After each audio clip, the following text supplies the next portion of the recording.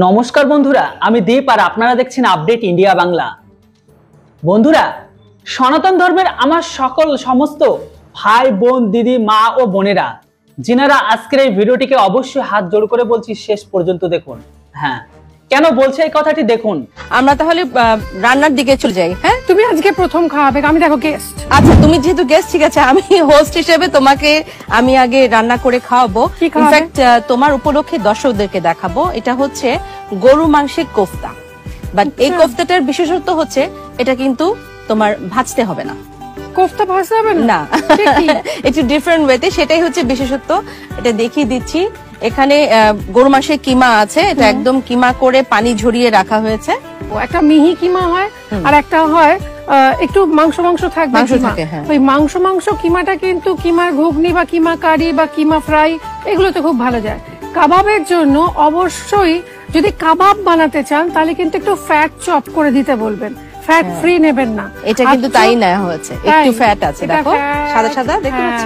ওই কোফতাতে কি হবে? ভেতরটাকে ময়েশ্চার দেবে বা কাবাবকেও ভেতর থেকে একটা ময়েশ্চার দরকার হয়। বাইরে থেকে তো আমরা ঘিটি ব্রাশ করছি কিন্তু ভেতর থেকে ময়েশ্চারটা আর চর্বির আলাদা টেস্ট এক্সপার্ট রুকো যারা সবার করো বলা ধাক্কা মুক্কি নাই করনে এটা যখন আপনাদের মনে এত আঘাত দিয়েছে নিশ্চয়ই খারাপ লেগেছে কারণ কারণ তারা তাদের কাছে আমি ক্ষমা প্রার্থী, আপনাদের আবেগে আমি আঘাত দেওয়ার জন্য আশা করি আগামী দিন এটা আমি মনে রেখে, মাথায় রেখে চলবো। এই ধরনের কিছু ঘটলে সাবধান হব অনেক বেশি। কিন্তু আমার না সত্যি মাথায় আসেনি যেটা হতে পারে। কারণ আমি তো সত্যি কোনো অন্যায় করিনি। এবার গন্ডগোলটা হলো কোথায়? তারিন জাহান অনুষ্ঠানটা শুরু করতে গিয়ে যে ক্লিপটা আপনারা ভিডিও ক্লিপ দেখছেন, সেখানে ভুল বশত বলে ফেলে যেটা হয় না ক্যাজুয়ালি বলে ফেলে সুদীপ, আজকে তোমাকে আমি গরুর মাংস রান্না করে খাওয়াবো। অ্যাকচুয়ালি তারিন আর আমি খুব বন্ধু হয়ে গিয়েছি খুব সুন্দর আড্ডা দিচ্ছিলাম, বন্ধু হয়ে গেছিলাম তো ও একজন বন্ধুকে ওয়েলকাম করতে গিয়ে কথাটা বলে ফেলেছে, কিন্তু বলেই আবার সেটাকে সঙ্গে সঙ্গে কারেক্ট করেও বলেছে, আমি আজকে আপনাদের সবার জন্য গরুর মাংসের কোফতা রান্না করব। এটা হয়তো কোনোভাবে এডিটারের ভুল হবে, এরকম ভুল আমরা প্রায়ই বলি। যে কেউ অ্যাঙ্কাররা বলে পরে সেটা এডিটে বাদ দিয়ে দেওয়া হয়। এটা তারিন জাহান ইচ্ছাকৃতভাবে করেছেন তা কিন্তু আমি মনে করি না অন্তত। কেউ এটা করে না। আর আমি তো সেখানে চুপ করে দাঁড়িয়েছিলাম কারণ আমি জানি অংশটা বাদ যাবে এডিটে সেটা কোনো কারণে হয়তো মিস্টেক বাই মিস্টেক সেটা হয়নি। তার দায়টা আমার উপর বর্তায়, না না। এবং অন্যের ধর্মাচরণে বাধা দেওয়ার অধিকার আমার কোনো নেই। আমি একটা অন্য দেশে দাঁড়িয়ে রয়েছি, যেখানে তাদের জাতীয় খাবারের মধ্যে পড়ে গরুর মাংস। সেখানে দাঁড়িয়ে আমি বলতে পারি না যে, তারেন, তুমি এটা রান্না করো না। কারও ধর্মীয় আচরণে বাধা দেওয়ার কোনো অধিকার অন্য কোনো ধর্মের মানুষের আছে বলে আমার তো জানা নেই। আমরা ছোটবেলা থেকে এই শিক্ষায় বড় হয়েছি।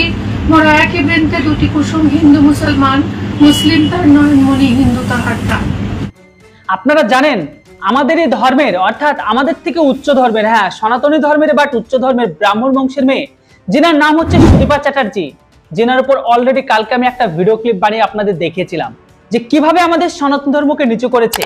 আমরা তো জানি যে আজকের দিনে আমাদের হিন্দু ধর্মে ব্রাহ্মণকে সব থেকে জ্ঞানী আর উঁচু ধর্মের মর্যাদা দিয়ে রাখা হয়েছে।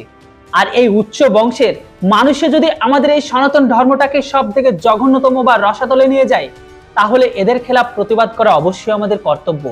কেননা দেখুন, এই সনাতন ধর্মের মানুষকে যদি আমাদের নিজের ধর্মের মানুষটা ছোট করে, সেখানে অন্য ধর্মকে কীভাবে আমরা বলি? এটা বলার আগে অবশ্যই এটাও আমাদের মাথায় রাখা উচিত। সনাতন ধর্মকে ইতিহাস থেকে শুরু করে বর্তমান দিনে, অর্থাৎ দু হাজার চব্বিশ সালে এসে দাঁড়িয়েও, যেভাবে আমাদের উপর অত্যাচার এসেছে, সেটা অন্য কোনো ধর্ম হলে হয়তো পৃথিবী থেকে নাম নিশান মিটে যেত। কিন্তু সনাতন ধর্মের মানুষরা আজও সেটাকে আমরা ধরে রেখেছি। কিন্তু আর নয় বন্ধুরা আমার সকল সনাতনী ধর্মী ভাইদের কাছে রিকোয়েস্ট অনেক হয়েছে, এবারের প্রতিবাদ করা অবশ্যই জরুরি। আপনারা জানেন যে একজন ব্রাহ্মণ বংশের মেয়ে সনাতনী ধর্মী হচ্ছে সুদীপা চ্যাটার্জি, যিনি বর্তমান সময়ে একজন অ্যাক্টার যিনি জি বাংলায় রান্নাঘরের প্রোগ্রাম করে। এছাড়াও ওনার অনেক অ্যাড ওনার অ্যাক্টিং এমনকি প্লাস ওনার নিজেরও অনেকগুলো চ্যানেল আছে, অনেক জায়গায় তিনি কাজ করেন। বলতে পারেন ফেস ভালো আছে। প্লাস উনি অপরচুনিটি ব্যবসাও করেন।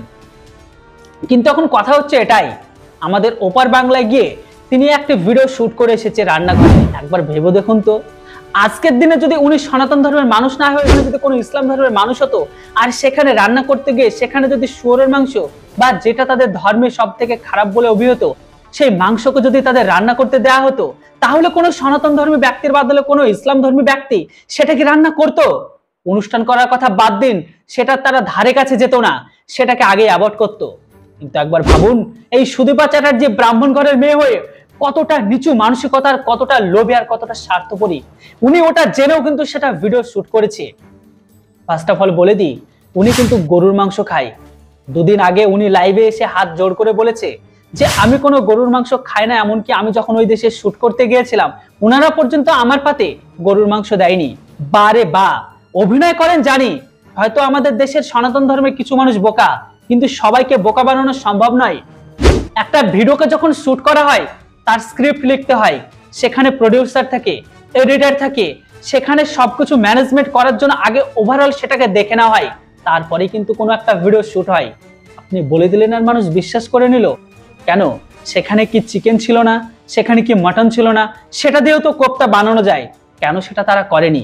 আর কেনই বা সেই দেশের, অর্থাৎ পূর্ব পাকিস্তানের সেই প্রডিউসাররা অর্থাৎ যেখানে গিয়ে কাজটি করা হয়েছে, তারা যখন এই স্ক্রিপ্টটিকে করেছিল, কেন সেখানে জানে যে এই গরুর মাংসটি একজন হিন্দু ধর্ম প্লাস সনাতন ধর্মের মাংসের, যেটা সব থেকে খারাপ, সেই জিনিসটা দিয়ে কেন আমাদেরকে অপমান করা হলো? সেখানে তো চাইলে সেখানে চিকেন বা মটনকে রাখতে পারতো, কিন্তু সেটা করেনি। এর মেন কারণটা কি জানেন? কারণ সুদীপা চ্যাটার্জি একজন হচ্ছে অতীব লোভী মেয়ে। উনি প্রথম থেকেই কিন্তু এর পার্সোনালিটি যদি কথা বলি, উনি একজন কখনোই ভালো মানুষ নয়। উনি প্রথম থেকেই অহংকারী। উনার রূপ, উনার যৌবন ওনার শরীর চর্চা, উনার শাড়ি ওনার অলংকার, এমনকি উনি বর্তমান সময়ে একটি শাড়ির বিজনেসও করে। ওভারঅল সবকিছুকে নিয়ে উনি চরম অহংকার করে। এটা আমার কথা নয়। আজ থেকে এক বছর আগে হ্যাঁ বন্ধুরা, এক বছর আগে, এনাকে এর জবাব বা মুখ্যম জবাব দিয়েছিল অরিত্র দত্ত নামে একটি ভাই। যিনার হয়তো ভিডিও বা হয়তো মুভি ক্লিপ আপনারা দেখেছেন।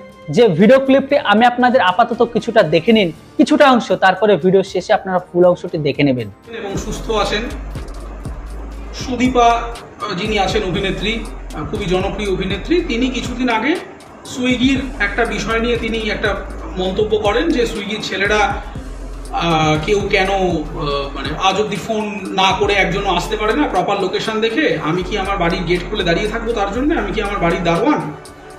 তো এইরকম একটা সে একটা পোস্ট করে এবং তারপরে তিনি পোস্টটা ডিলিট করে দেন। না, সেটা তার ব্যক্তিগত ব্যাপার, কিন্তু আমি তার এই কথাটাকে সমর্থন না করে আমি লিখেছিলাম ফেসবুকে যে মানে ওনার মতো একজন, কারণ আমি নিজে ওনার অভিনেত্রী হিসেবে খুবই ফ্যান এবং যেই কারণেই আমি বলেছিলাম যে ওনার মতো একজন অভিনেত্রী যার এত লক্ষ ফলোয়ার তার থেকে হয়তো এরকম একটা অহংকারী মানসিকতা এটা হয়তো দেখানো উচিত নয় কিংবা এটা হয়তো আমরা এক্সপেক্ট করিনি, আমরা কাম্য ছিল না। সেইটা নিয়ে টিভি নাইন বাংলা আমি এই পোস্টটা করেছিলাম, সেটা কোনোভাবে সুদীপা দেবীও দেখেন এবং সেই সম্পর্কে তিনি তার মতামত জানান যে তিনি কি আসলে বলতে চেয়েছিলেন, তার কথার ভুল ব্যাখ্যা হয়েছে ইত্যাদি, কিন্তু সেই অবধি ঠিক ছিল, তাতে কোনো অসুবিধে নেই। তিনি তার যুক্তি দেবেন, সেটাই স্বাভাবিক। কিন্তু যেটা হলো, সেখানে তিনি আমাকে যে ভাষায় আক্রমণ করলেন, আমাকে ভাষায় আক্রমণ করলে আমি কিছু মনে করি না, আমাকে নিয়ে অনেকেই ট্রোল বানান স্কুফ বানান, আমি সেগুলো খুবই এনজয় করি, আমি উল্টে সেই সব মিম টিম শেয়ার করি। আমি ক্রিটিসিজম চাই মানুষে করুন, মানুষের ভুল যদি মানুষকে ধরিয়ে না দেওয়া যায় তাহলে সে শুধরোয় না। যাই হোক, এই ব্যক্তিটি কখনোই ভালো মানুষ ছিল না। ইনি প্রথম থেকেই অহংকারী ব্যক্তি। ইনি প্রথম থেকে মানুষকে কখনো মানুষ বলে ভাবে না। তার থেকে বড় এনার খারাপ দিকটা কি জানেন? এই সুদীপা চ্যাটার্জি, তিনি তার ছেলে, অর্থাৎ তিনি তার ছেলে ব্রাহ্মণদের যখন পৈতে নেওয়া হয়, সাধারণত কোনো ব্রাহ্মণ বংশের যখন ছেলেদের পৈতে নেওয়া হয়, তখন সেটা পৈতে দিয়ে নেওয়া হয়। কিন্তু ইনার অহংকার আর দাম্ভিকতা এতটাই বেশি ছিল যে সোনার চেন দিয়ে, অর্থাৎ সোনার পৈতে দিয়ে পৈতেকে নেওয়া হয়েছিল।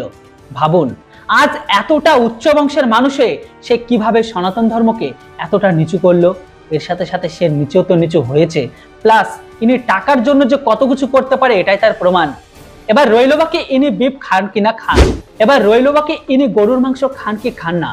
তো বন্ধুরা, যাই হোক বন্ধুরা দু সালে এই সুদীপা চ্যাটার্জি, উনি তার ফেসবুকে এসে একটি পোস্টে গরুর মাংস দিয়ে বানানো উপাদানের খাবারকে খেয়ে তিনি খুব তার সুনাম করে এমনকি সেটিকে একটি পোস্ট দিয়েছিল, যে পোস্টটিকে আপনারা দেখতে পাচ্ছেন। হ্যাঁ ঠিক আমি এই পোস্টটার কথা বলছি। এবার ভাবুন ইনি এখন এসে যে মায়া কান্না কাঁদছে এই সমস্ত কান্নায় কেউ ভুলবেন না। এনারা হচ্ছে একটার এনারা চোখের জলও ফেলতে পারে, এনারা লোকের পায়েও পড়তে পারে, এনারা টাকার জন্য সব কিছু করতে পারে, বাকিটা আপনারা বুঝে গেছেন। আমরা জানি ব্রাহ্মণরা আমাদের ধর্মের সব থেকে জ্ঞানী মানুষ। কিন্তু এই জ্ঞানী মানুষগুলোই আজকে আমাদের ধর্মকে যেভাবে রসাতলে নিয়ে গেছে, এনার শাস্তি হওয়া উচিত। খবর বেড়ে এসেছে যে জি বাংলা থেকে নাকি সুদীপা চ্যাটার্জিকে বের করে দেওয়া হয়েছে। দেখুন, এটা হয়তো খনি করে হতে পারে, বাট আমি কনফার্ম নই। কিন্তু একটা জিনিস মাথায় রাখো, ইনাকে বের করুক বা না করুক, ইনার শাস্তি এখানে কিন্তু শেষ নয়। ইনার শাস্তি বড় থেকে বড়তর হওয়া উচিত। যেন ইনার শাস্তিকে দেখে আর কোনো ব্যক্তি আমাদের সনাতন ধর্মকে ছোট বা নিচু করতে না পারে, আমাদের সনাতন ধর্মের মান সম্মানের জন্য কেউ খেলতে না পারে। আপনাদের কাছে রিকোয়েস্ট যে যতটা পারবেন আপনার মা, বোন, দিদি, মাসি, পিসি, যেনারা এনার চ্যানেল দেখেন বা এনার ভিডিওগুলো দেখেন এনাকে অ্যাভয়েড করুন এনার যথাযথ শাস্তির ব্যবস্থা করুন ভিডিওগুলোকে প্রচুর পরিমাণে শেয়ার করুন।